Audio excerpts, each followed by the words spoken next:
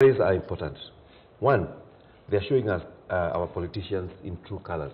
like, like he said, there are those politicians who are asking for a third tier of government mm-hmm. just because they don't see where they're going to fit Yeah. in after, after their term is over. Mm. So they, they are creating a position where we will have some kind of federal system and mm-hmm. regional, regional governments.